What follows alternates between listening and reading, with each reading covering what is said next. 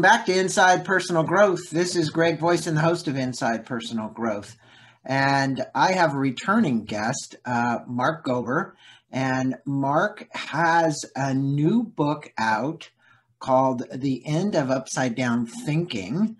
And he was on our podcast before. And for all of you listeners, uh, he has, i I'm sorry, End of Upside Down Living. The uh, prior book was The End of Upside Down Thinking. Uh, we will have a link to both of those books in the podcast. Um, you can get this book at Amazon in a hardcover, or you can get it as a Kindle book. Good day to you, Mark. How you doing? I'm well, Greg. Thanks for having me again. Ah, it's good to see you. It's uh, good to see you're back on the West Coast. Uh, last time I talked to Mark, he was in New York. So um, today he's here. And, you know, I've been a big fan of yours, and I want to let the listeners know a bit about your website as well. There it is, website. Um, you can see Mark.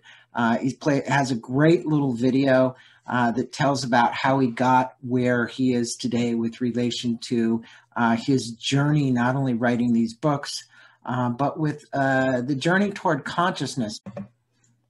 Mark is the author of award-winning book, The End of Upside Down Thinking, 2018, and the sequel, uh, An End of Upside Down Living. He's also the best. He is also the host of Where Is My Mind? It's a podcast he started in 2019, featuring his interviews with world-leading consciousness researchers, uh, Eben Alexander, Dean Radin, and many others.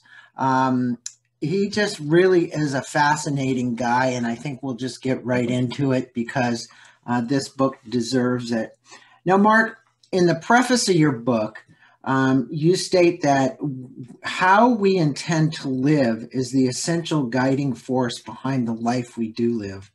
Um, can you inform the listeners a little about how you got where you are with this book. I think your video does a great job, not only this book, but the prior book, just your journey. And how would you kind of inform listeners or at least guide listeners about how they could live their life more in, intentionally? Sure. So, my background on the surface has nothing to do with consciousness. Uh, I graduated from Princeton. I wasn't thinking about these topics then, went into investment banking, and that was actually during the financial crisis 2008 to 2010. I was there in New York and left to join a Silicon Valley based strategy firm advising tech companies, and I spent 10 years there, became a partner.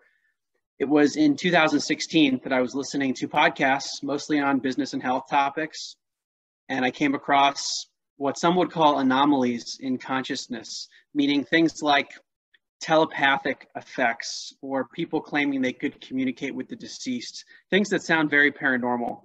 And at first I didn't think too much of it because people were talking about their own anecdotal accounts of this happened to me and, and I, couldn't, I couldn't validate what they were saying. But then I, I was interested enough to start looking at the science behind it and saw that there was actual science coming from not only the US government, but also the University of Virginia, Princeton University, the Institute of Noetic Sciences, and many other places so that led me on a journey to reconsider reality and um, ask deep questions like who am i? What am i doing here? Is there any meaning to my life beyond what i'm making of it? Is there intrinsic meaning in the universe and in my life and in the lives of others? And uh, that led me to write my first book, An End to Upside Down Thinking, which I wrote the first draft of a year after starting my research. So it was in the summer of 2017 then began to interview many of the scientists that I wrote about and and came up with the podcast Where is My Mind, which you mentioned. It's an eight episode series that concluded in 2019 and goes through many of these topics. And then uh, this, in late 2019, I decided to leave my my firm where I had spent 10 years and um, just didn't feel as aligned as I used to and wanted to pursue these other topics full time. And then shortly after that, ended up writing the second book An End to Upside Down Living. And the focus of that book, as you were alluding to, is is looking at how we can come up with a basically a guiding compass for our lives. What is it in our lives that drives our actions, our priorities, and our values? And if I had tried to answer that question several years ago before I began this journey, I would have said it's kind of a meaningless exercise because we are creatures of randomness, basically. That there was a big bang almost 14 billion years ago, and lots of particles combined in random fashion, and human beings evolved through that process of random combinations of pieces of matter, but there's no meaning behind it. It's just all randomness. And then when the body dies, our consciousness, our sense of being dies as well. Mm-hmm. So that's that's how I used to think about life. That there's no real meaning. Uh, mm-hmm. But now I think about life very differently, where I think of consciousness as the the fundamental aspect of reality, and it's actually beyond the body. The body sort of houses consciousness, but it doesn't create it. So, with that perspective, if consciousness and, and my first book is the science behind this, but if we assume that science is correct and there is consciousness beyond this body and that we're sort of interconnected in this consciousness, then how would we look at life? And that's really what the second book examines. Well, you know, look, you in your first book, Paranormal Near Death Experiences, uh, was a long way away from a guy at Princeton doing what you were doing in the business world, right? Um, and to actually take a deep dive into that, I just want to congratulate you because the reality is um, it takes a lot of courage and faith to step out on that track. And you state that the purpose of the book is to explore with precision where we should set our life's compass. You just mentioned that. Um, how do we find an orientation that most closely aligns uh, as you say in the book, it really closely aligns this uh, find an orientation, an orientation which is the true nature of reality, right? Um, and why is our reality off the mark in your estimation? In other words, you know, I we could say that about a lot of people, I mean, I'm going to say a political comment who voted for Trump, right? And we could say, where is their reality, right?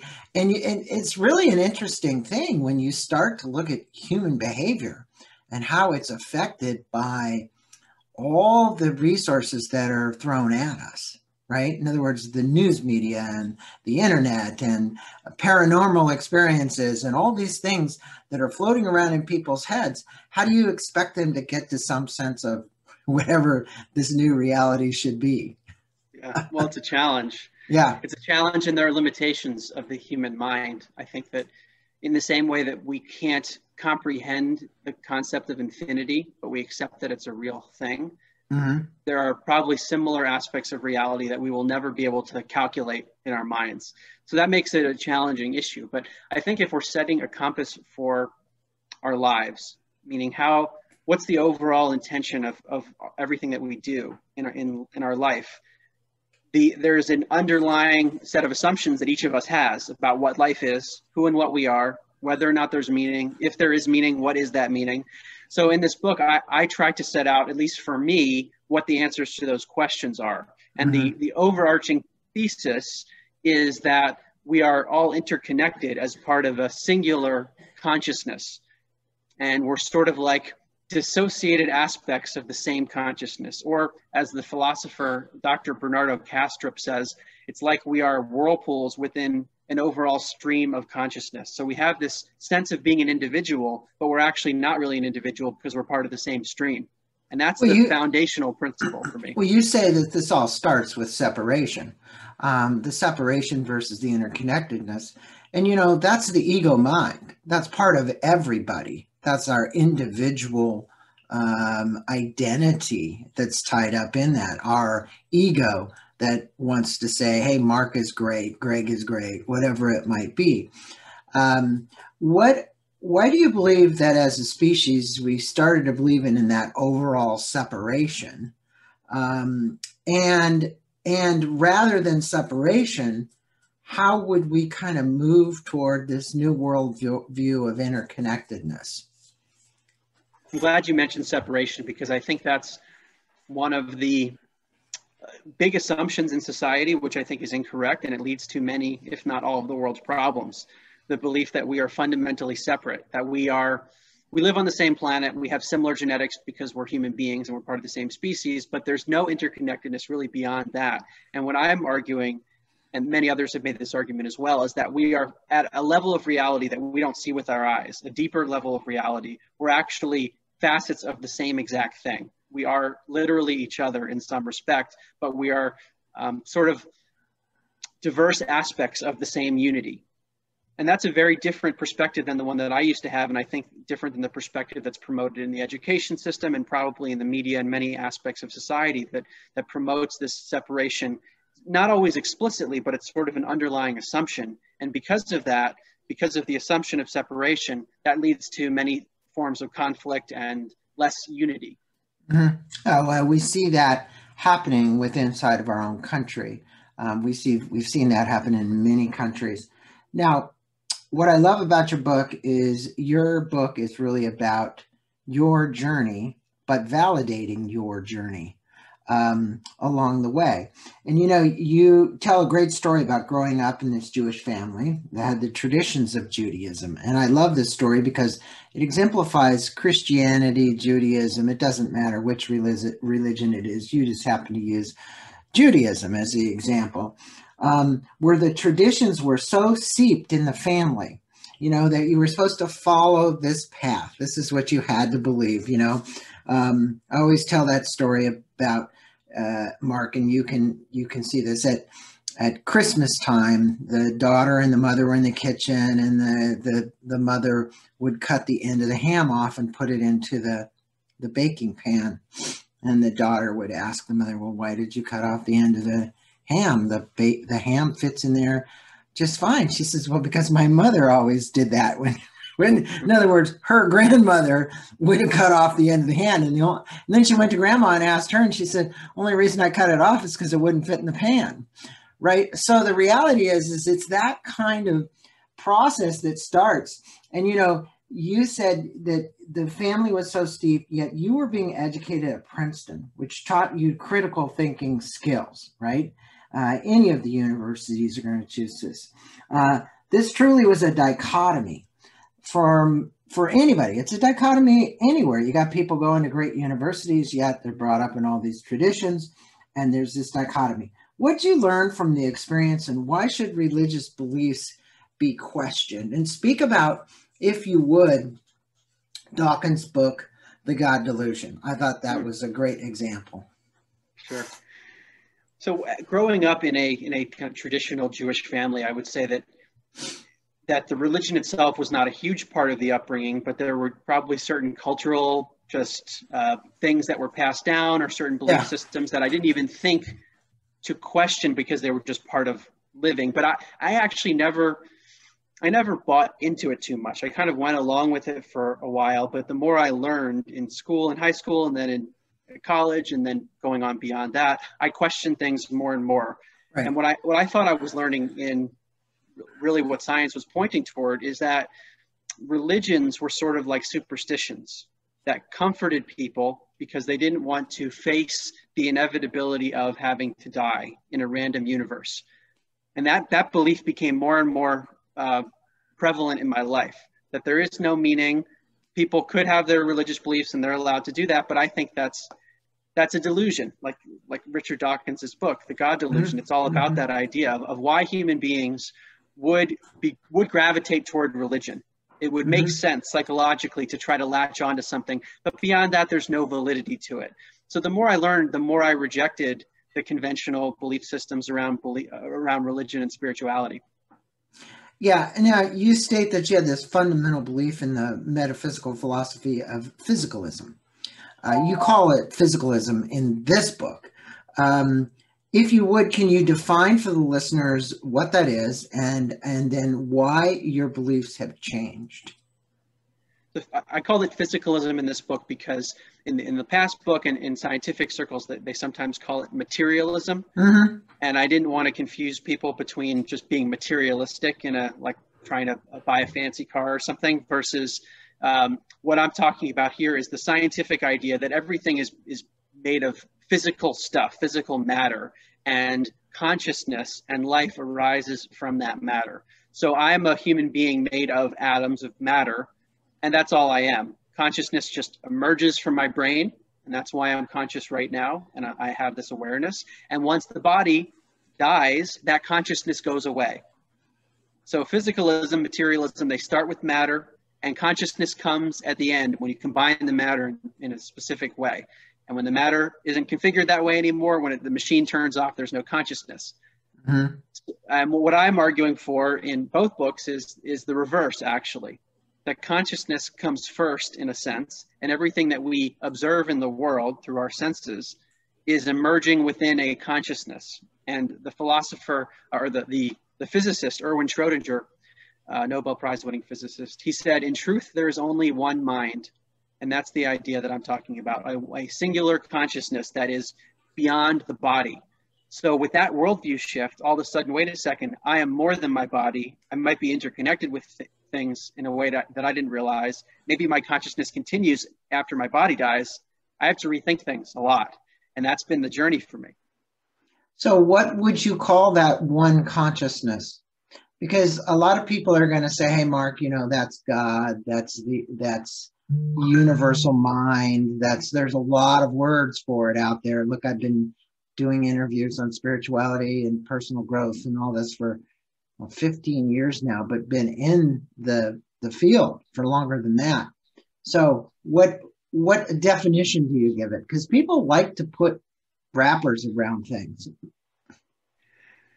Yeah, I mean, calling it consciousness is is one thing, but it's so etherical to say consciousness. It's so, um, I'm not going to say undescript. It is descript, the term consciousness. Yet a lot of people can't get their hands around it. It's like, what is consciousness? Right. and that's one of the challenges because when I'm referring to consciousness, I'm talking about something that's beyond space and time and is so abstract that we can't really define it. And when we try to define it, that's putting a limit on something that I would argue is infinite and limitless. Okay. So the, the, the question is, it's a good question and it's a very difficult one to answer. So I've, I've used the term consciousness many times and I, and I use it often because it's, it does not sound overtly spiritual.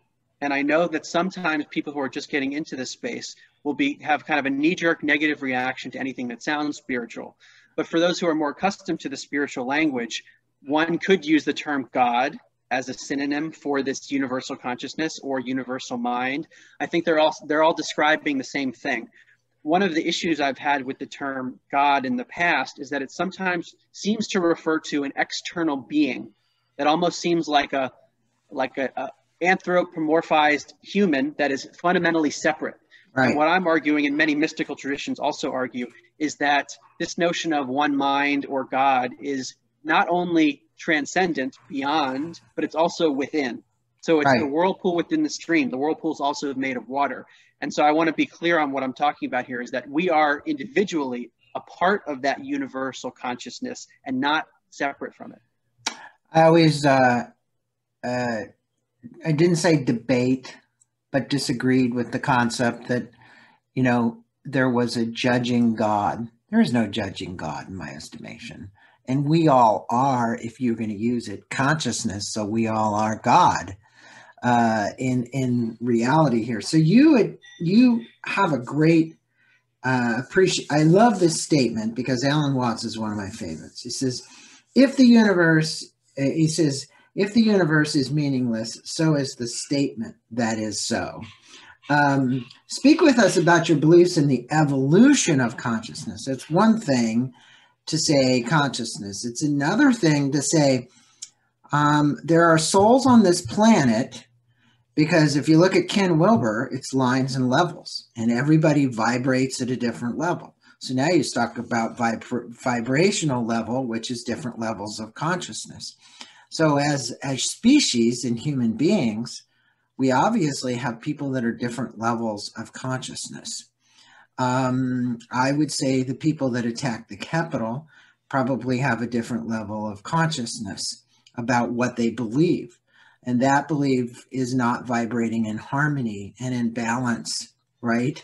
Let's face it, you know, I can make that political comment. This is my show.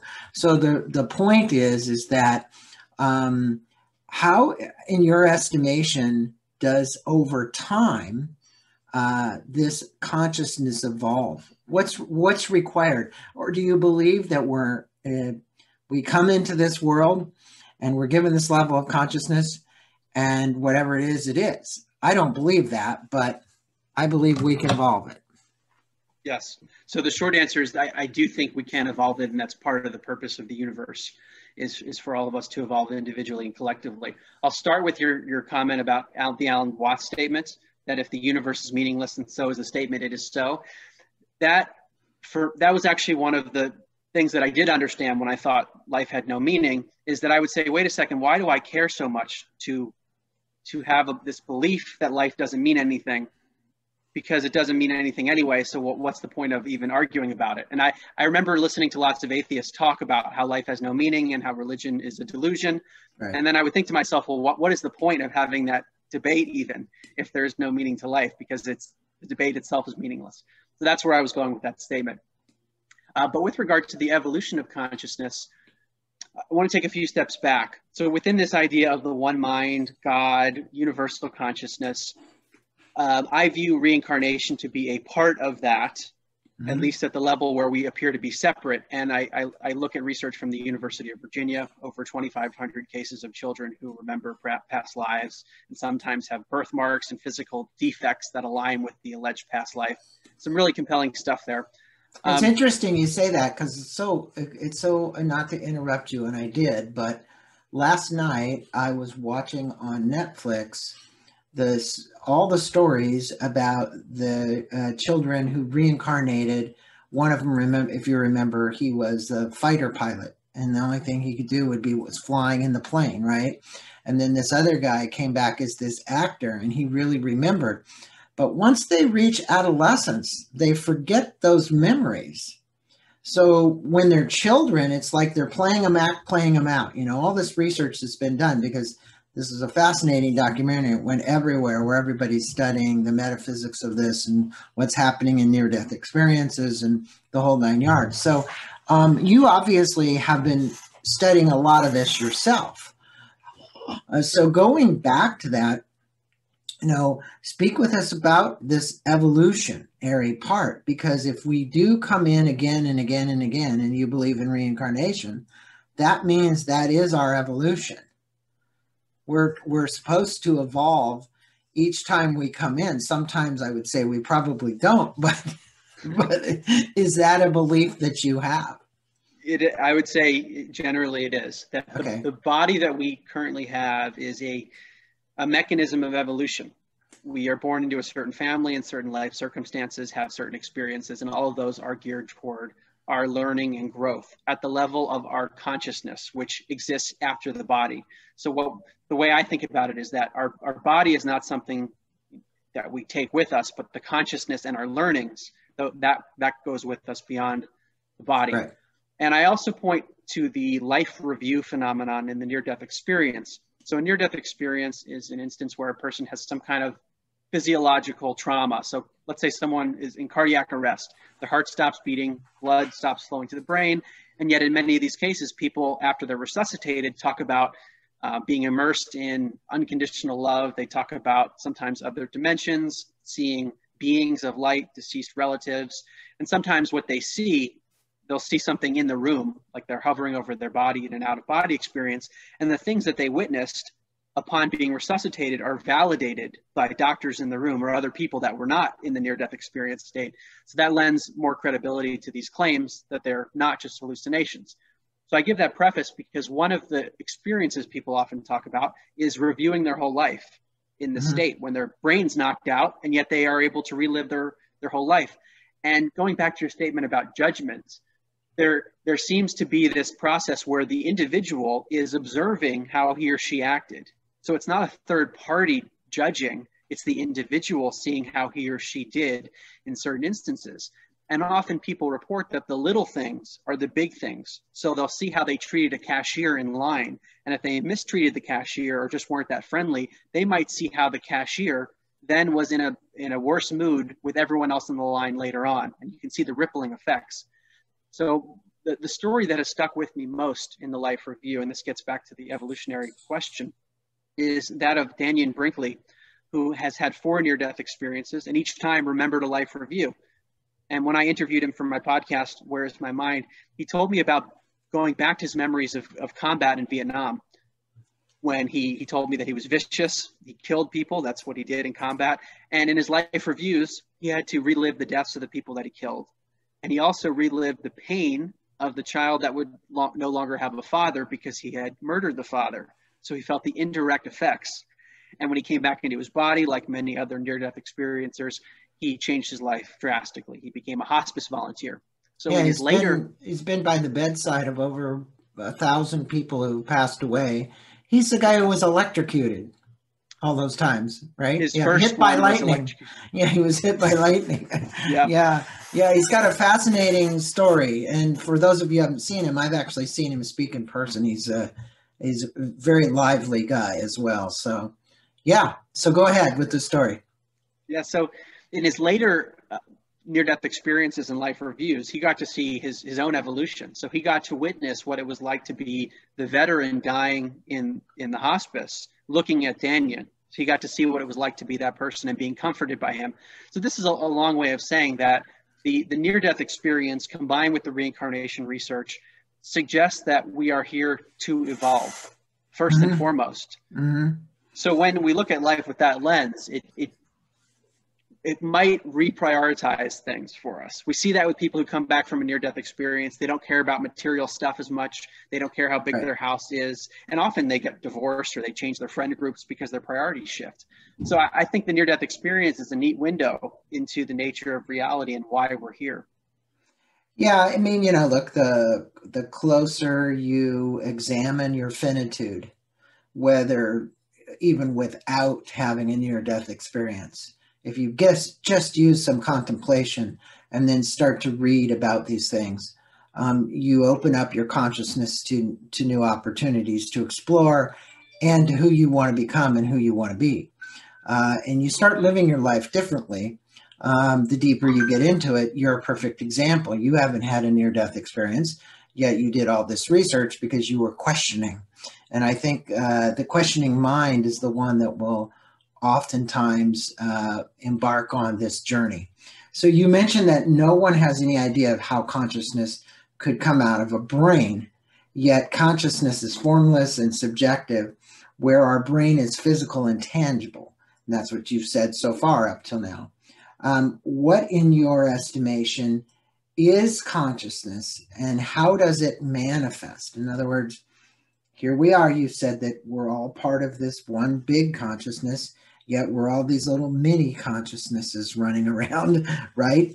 And we we will be reunited as part of that one consciousness, of that unification of the larger one, right? Because that's where we came from. Um, but um, how does this manifest? Well, the body is and the brain are are related to the way that we experience life. They're related to consciousness. I view the brain as a filtering mechanism of this broader consciousness. So a near-death experience is a good example. When the brain is knocked out of the way, when the person's body isn't functioning, the the sense of consciousness is expanded. Right. People talk about an enriched reality. The same thing happens in, in studies on psychedelics when parts of the brain are actually uh, have a reduction in functioning during the psychedelic trip when people have these ultra real experiences. And there are many cases like this where you have less brain, more consciousness. So it's like when we are in these individuated pods of a body, the consciousness is filtered in a way that we have a very specific experience.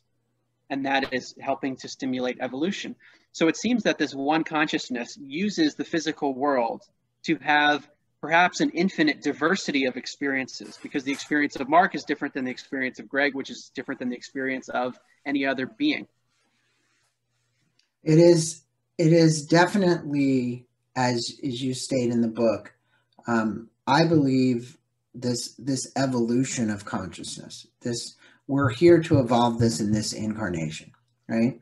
We're here to become better people, uh, no matter how many other reincarnations we've had before. Um, so you write in the book that, and I thought this was very important to bring up. You know, you were this hard driving tennis player, maniac, achieving kind of person, right? You mentioned that it was expected that you get married, you have kids, and then you die, right? Mhm. Um, what are your beliefs in spirituality or higher power and in your finitude and comment on your heart stopping at your desk and being overstressed and overworked because I don't know if that was a near death experience, but it was certainly a panic attack. Uh, I don't know how, how bad that really was, but you know, you were stressed out beyond belief. The reason you are where you are, in my estimation, after reading both of these books, is that you um, you chose not to live that life as a result of the pain associated with what was being inflicted on you.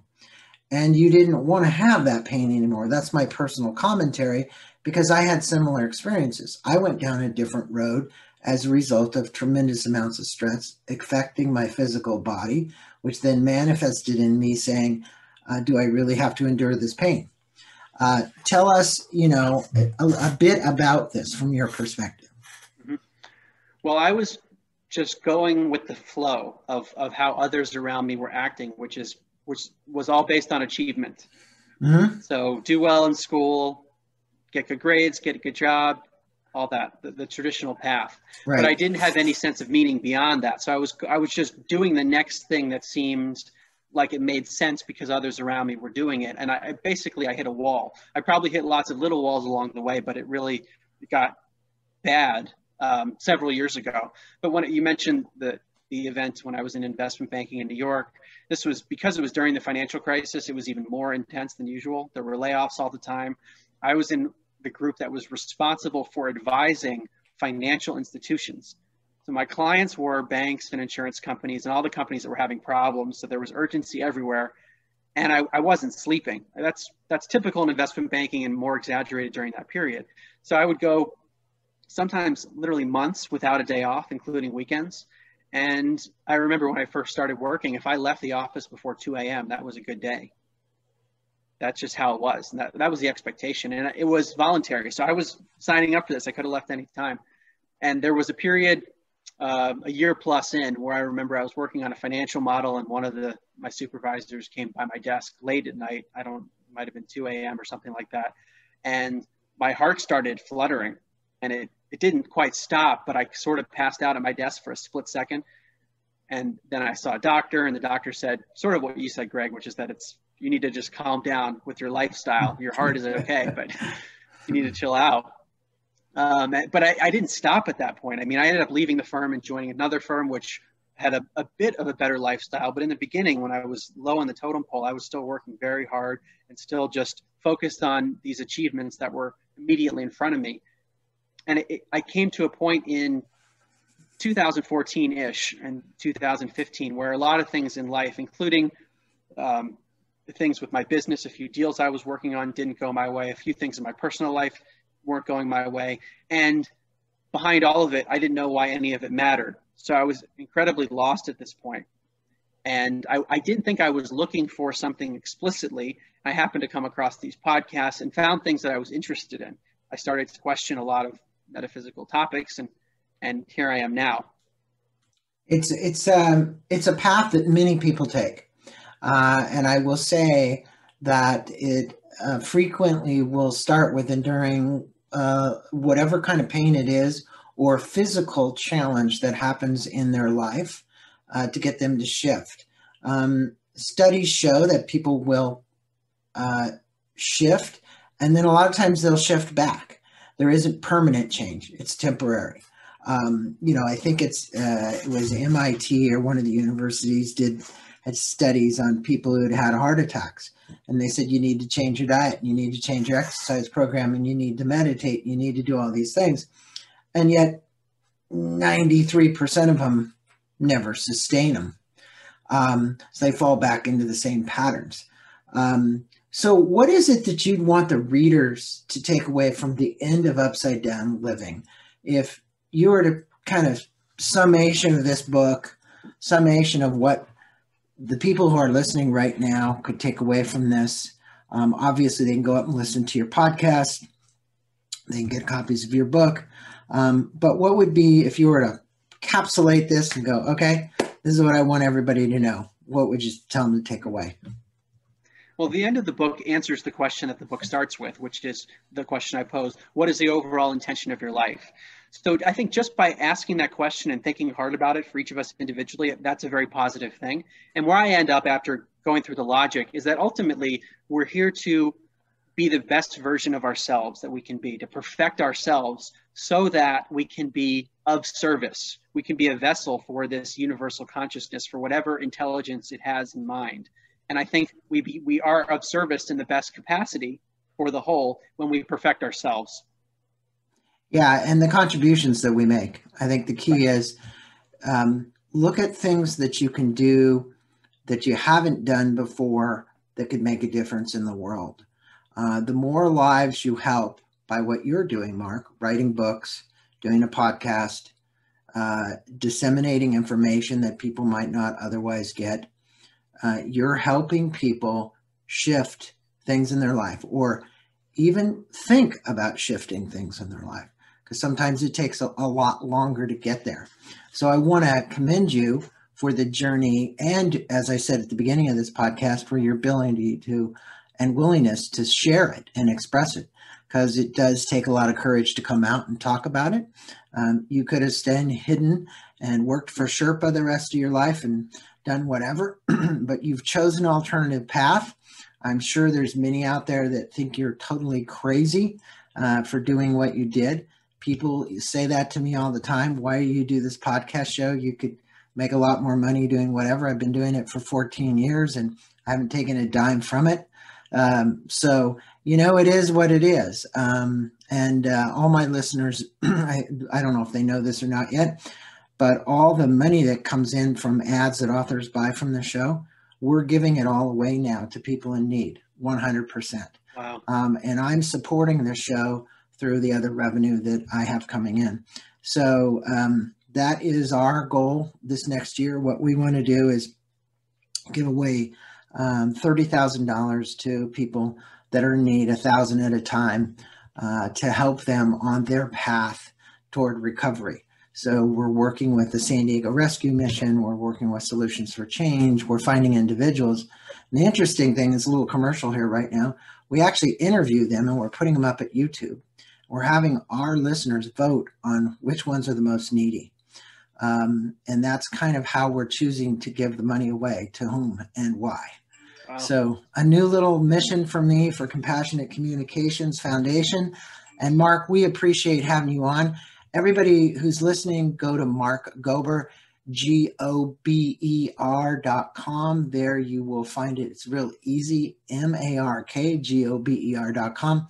You can learn more about Mark, his book, his interviews, his podcast. Namaste to you, Mark. Thanks for being on on this uh, Martin Luther King Day, the 18th of January. Thank you, Greg. And thanks for all that you're doing.